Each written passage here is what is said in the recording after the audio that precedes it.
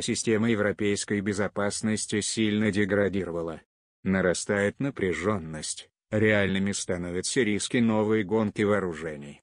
Мы упускаем огромные возможности, которые нам дает кооперация, тем более она так важна сейчас, когда все мы столкнулись с общими вызовами, пандемией и ее тяжелейшими социально-экономическими последствиями.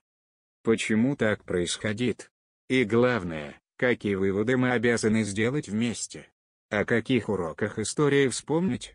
Думаю, прежде всего о том, что вся послевоенная история Большой Европы подтверждает, процветание и безопасность нашего общего континента возможны лишь совместными усилиями всех стран, включая Россию.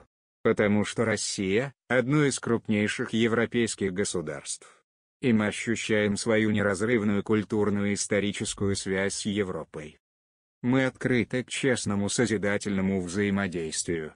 Это подтверждает наша идея создания единого пространства сотрудничества и безопасности от Атлантики до Тихого океана, которое включило бы в себя разные интеграционные форматы, в том числе Европейский Союз и Евразийский экономический союз.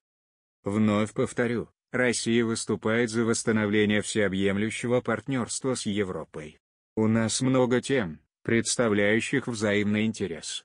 Это безопасность и стратегическая стабильность, здравоохранение и образование, цифровизация, энергетика, культура, наука и технологии, решение климатических и экологических проблем. Мир динамично развивается, сталкивается с новыми вызовами и угрозами. И мы просто не можем позволить себе тащить за собой груз прошлых недоразумений, обид, конфликтов и ошибок. Груз, который будет мешать нам сосредоточиться на решении актуальных проблем. Убеждены, что нам всем надо признать эти ошибки и исправить их.